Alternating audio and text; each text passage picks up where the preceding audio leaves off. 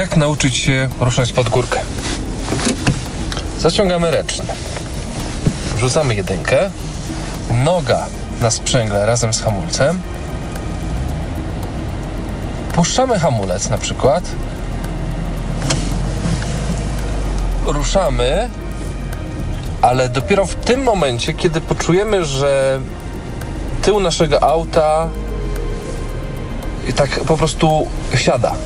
Potem możemy poznać, że bez problemu ruszymy, czyli na pół sprzęgle początkowo ruszamy. To jeszcze raz się zatrzymam. Zaciągam ręczny.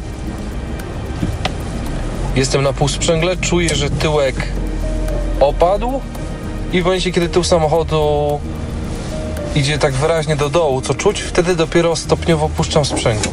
Jeszcze raz. Yy, puszczam hamulec ręczny. Jeszcze raz. Hamulec ręczny. Pół sprzęgło. Puszczam ręczny i ruszam.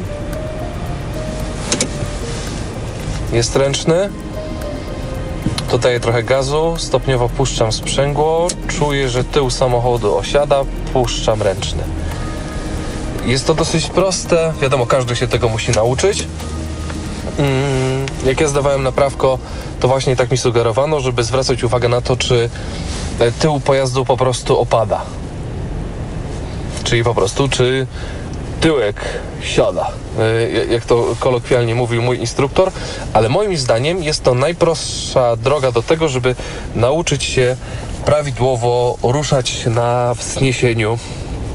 Niestety, nie potrafiąc tego robić, nie zdamy na prawo jazdy.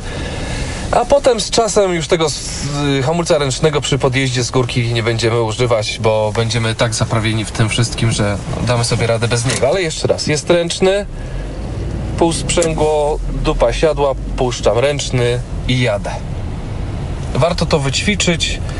Yy no bo bez tego będzie naprawdę trudno, nie tylko na egzaminie, ale też w normalnym ruchu drogowym, bo chyba nie ma większego koszmaru jak po prostu wywinięcie komuś takiego piruetu przy zjeździe z górki. No naprawdę to są raczej nieprzyjemne kolizje i niestety w przypadku osądu czyja to jest wina, na pewno będzie winien ten, który w niekontrolowany sposób zjechał na dół. No nic, polecam tą technikę ćwiczeń, moim zdaniem jest yy, fajna, prosta i przyjemna.